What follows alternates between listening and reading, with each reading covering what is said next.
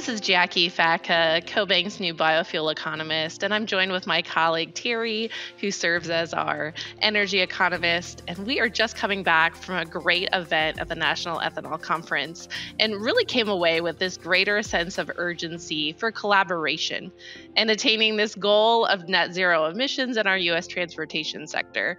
And the really exciting thing, too, for agriculture is there is a lot of optimism on the role that they can play in this, this fight to to reduce global emissions. That's right, Jacqui. And in fact, one of the key messages from the conference was really this idea of radical collaboration. And it's really what we need to get to net zero. So, collaboration among competitors, supply chain partners is going to be really important. And for downstream transportation, and especially that heavy carbon area or hard to carbonize area of long haul trucking, aviation, and shipping, there's going to be a need to sort of share notes to be able to collaborate at that sector to get us where we need to go. Let's turn to Geoff Cooper, who's the president and CEO of the Renewable Fuels Association, longtime friend, to see how those partnerships are creating new momentum. Jeff, thanks so much for joining Teri and I for this Energy and Transitions video podcast. Share with us how these partnerships, sometimes even unlikely ones, are creating new momentum for you and the ethanol industry. The ethanol industry for decades has had some remarkable accomplishments and, and policy victories, uh, whether you're talking about the renewable fuel standard or progress on E15 or building new export markets, or most recently securing some very important tax incentives in the Inflation Reduction Act. We've achieved a lot. But we also know that none of those achievements would have happened if we had to do this by ourselves. We've always had lots of different partners and allies and collaborators that have helped us secure these wins for the industry. You're right. Sometimes these partnerships are unexpected, maybe a bit surprising, uh, non-traditional, you might say. But you know, you look at folks like working with the oil industry or working with environmental groups, and most recently working with the airlines. Five to ten years ago, we would not have probably ever imagined that we would be working side by side with some of the major airlines on sustainable aviation fuels and the need to decarbonize the aviation sector. Geoff, as the economist at the bank, I primarily work with rural electric cooperatives, and I was really surprised. It's the first time attending your conference, and thank you for that. But I was really surprised to see one of the panels was entitled Ethanol and Electricity, the Best of Both Worlds. And in fact, uh, your organization has their own plug-in hybrid vehicle and that was actually on display at the conference. That was really cool to see. Can you walk me through how low carbon ethanol and electric drivetrain technology can work together to achieve decarbonization and deep decarbonization within transportation? Yeah absolutely. This is a project we're, we're very excited about because again we think it demonstrates that partnerships can lead to sometimes surprising results uh, when we look at decarbonizing the light duty transportation uh, fuel marketplace, I think too often that discussion is framed as EVs versus biofuels or EVs versus petroleum. We don't see it that way. We think there are a multitude of solutions and, and it's going to take a portfolio approach. And we think there are, you know, characteristics that each of these different energy sources bring that can be combined. And we think there are complementary strategies. And really, the purpose of our plug in hybrid electric vehicle is to showcase some of those uh, synergies uh, between these and, and, amongst these various technologies. So, we've got a plug in hybrid flex fuel vehicle that is a Ford Escape. It runs on E85, but it also has an electric motor and, and external charging. And we think that combination has really provided uh, tremendous emissions benefits We've been recording those very carefully. It also has provided some some economic benefits, uh, lower cost of operation.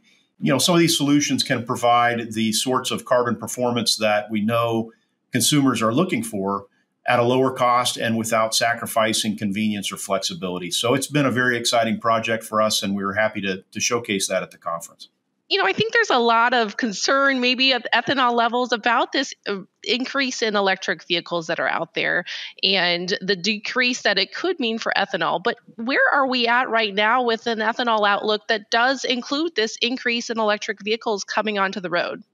We know that every 1 million new electric vehicles that are introduced to the fleet, that is going to reduce gasoline consumption by about 450 million gallons And that means ethanol consumption, if we're talking about 10% blends, is going to be reduced by about 45 million gallons. Uh, so, yeah, that, that is something to consider. But what else we should be considering is that there's another 60 billion gallons of diesel and distillate fuel that's being used in this country, and another 25 billion gallons of aviation fuel that's being used every year. There's zero ethanol being blended or going into those applications today.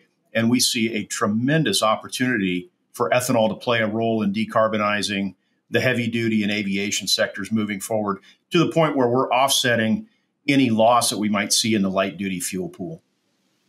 That's exciting and really getting a realistic game plan, a blueprint on how we arrive at net zero, which includes includes all of our smart thinkers to the table. Well, and you're you set us up so wonderfully for our uh, four part series that we are going to turn to some other folks here that can help give us that full cycle tour of decarbonization and what we can expect. So, Geoff, thanks so much for joining us.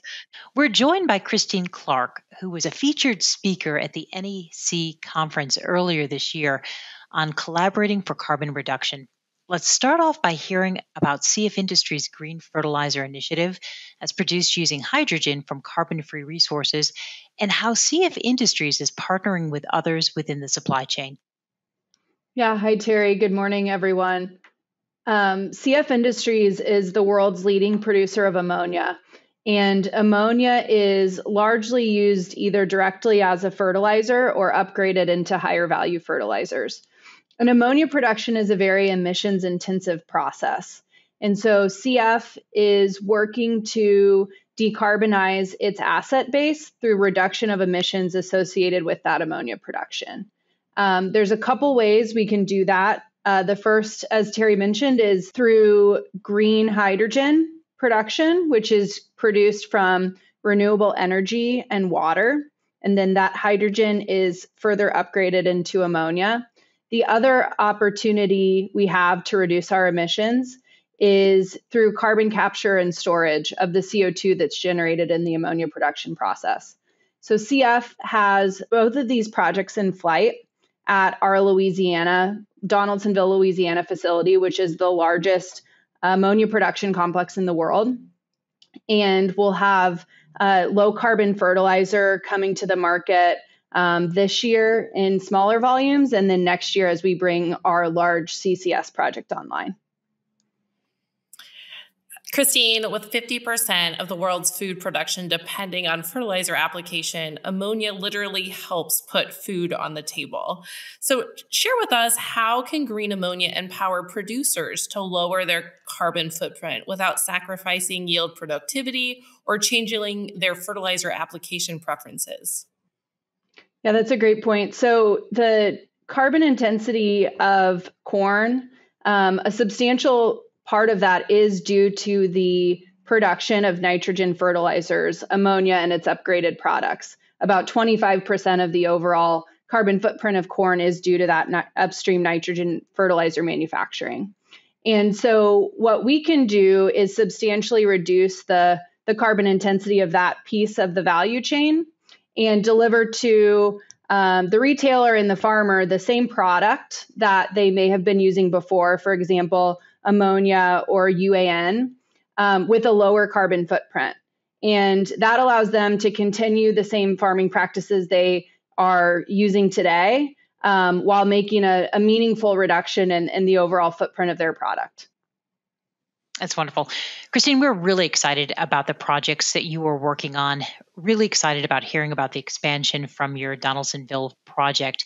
Want to thank you for joining us. Enjoyed your conversation on the panel there at NEC. So thank you so much. Okay, we know that agriculture is currently playing a prominent role in the US efforts to to really respond to climate change. But how do we measure that effort? Our next guest, Mitch Hora, the founder of Continuum Ag, has some answers for us.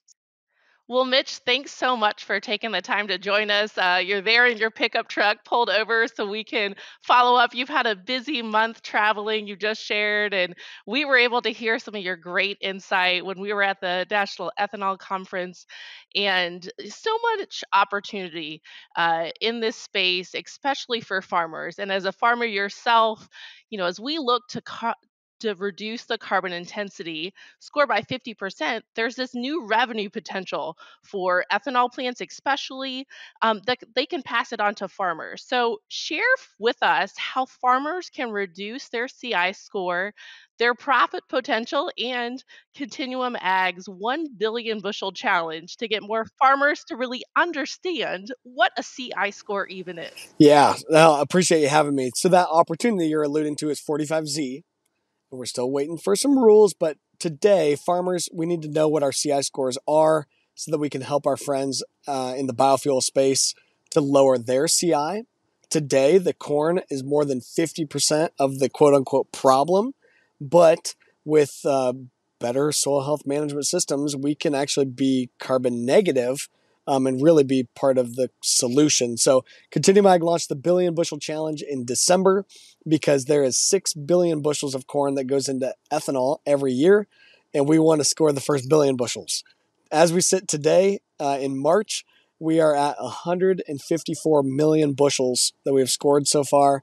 So, plenty of room uh, before we hit a billion, but wow, we are really making strides 154 million bushels. And the average carbon intensity score of those bushels is 10.6.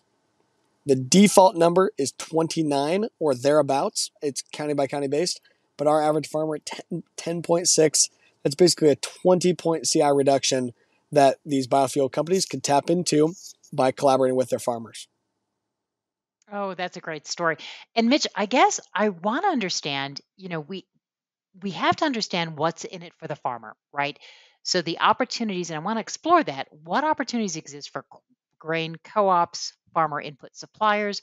We need to bring them along on this journey, but the question is, you know, how do we get them on board and be part of the solution of lowering the carbon intensity for the crops? Yeah. So the money flows through the biofuel producer. Okay. Ethanol, sustainable aviation fuel, biodiesel, or renewable diesel let's think about ethanol to simplify. Okay, so the money goes through the ethanol producer.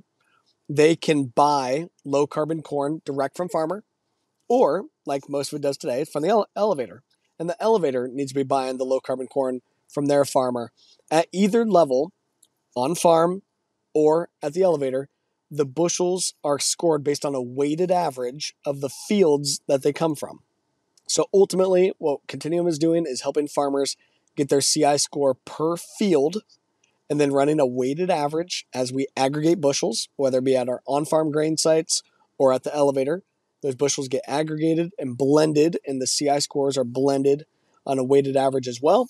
And then when those bushels go to the biofuel manufacturer, they are buying the physical bushels and they are buying the data. The score goes on the scale ticket, as does the verification ID, goes on the scale ticket, and then they can utilize that score as part of their equations as they calculate all of the bushels that go into their annual production and report to the IRS their overall carbon intensity score. So it's our job on the farm and folks at the elevators um, to make sure that we're pooling this data together, pooling these farms together in order to really move the needle here. We need a volume of farmers who are ready to go and participate. For most ethanol plants, they're going to need at least 20% farmer participation to get below the baseline threshold of a CI score of 50. But the more far, the more farmers we have coming to the table, the lower the CI scores we have coming to the table, and uh, the more data that we've got, the better in avoiding fraud and in capitalizing on this incredible opportunity. So, uh, elevators, I would encourage you start asking your farmers what is their CI score, start gathering the data because your ethanol friends are absolutely going to be asking for that data. And farmers, we need to know what our scores are because that's where it all starts. So we are gr- glad you are out in the truck somewhere in Iowa, as we talked about, and really appreciate your insights here and your guidance on how we all can participate in this. Um, we're going to close our next interview uh, visiting closer downstream to the consumer with a discussion from Dr. Paul Bloom. He's the Chief Carbon Innovation Officer at Gevo. Aviation remains one of the last frontiers to conquer in significantly reducing our global emission footprint for transportation.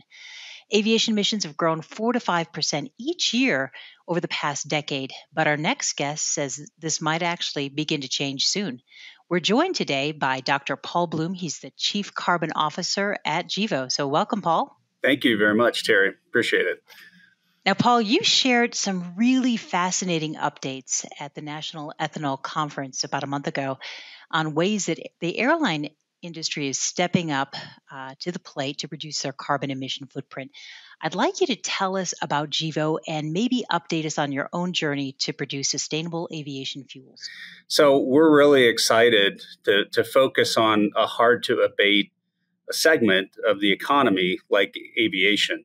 And you know the way that we're really doing this at Gevo is um, to build a, a, business system that can take carbon abatement seriously from from the feedstock all the way to the seat on that aircraft, right? And so how do we do that?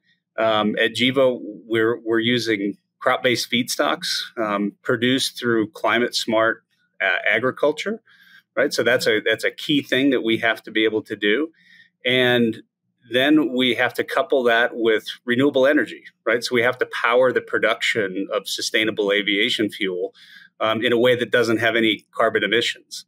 And when we do that, we combine those two together and we can not only get that carbon abatement down to uh, potentially zero, but by the time that that fuel is produced and actually used, we've removed more carbon equivalents than, than we actually emitted from burning that fuel. Right, that's the real goal of what we're trying to do um, on how we produce the fuel.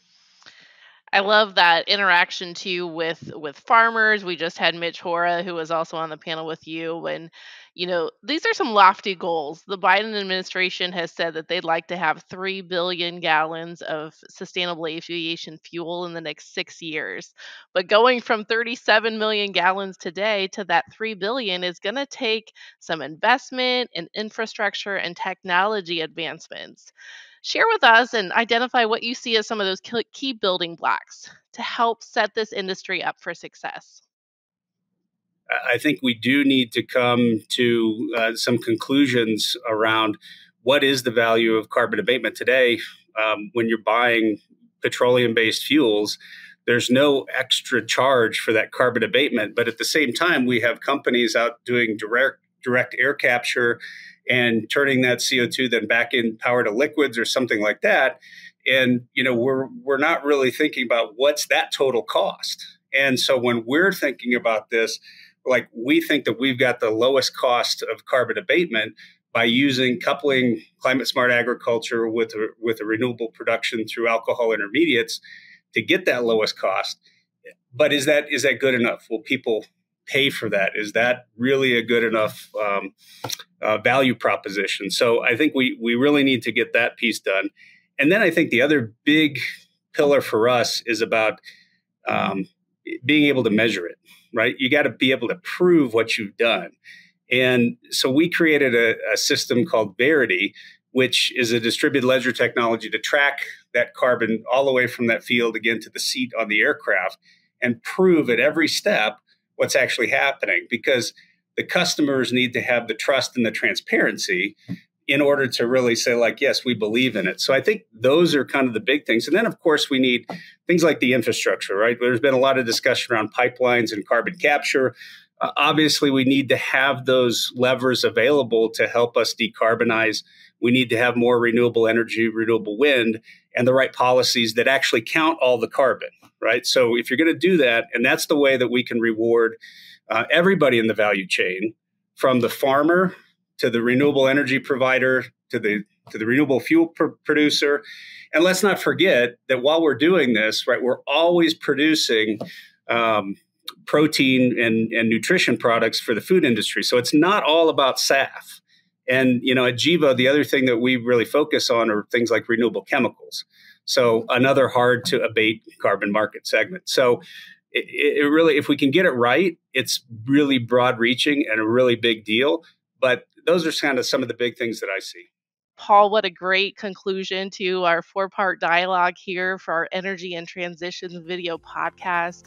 And uh, I want to thank my colleague, uh, Teri Viswanath, uh, to really dig into a lot of these topics that we're starting to hear more about. And, and we're excited to see where this industry is going forward.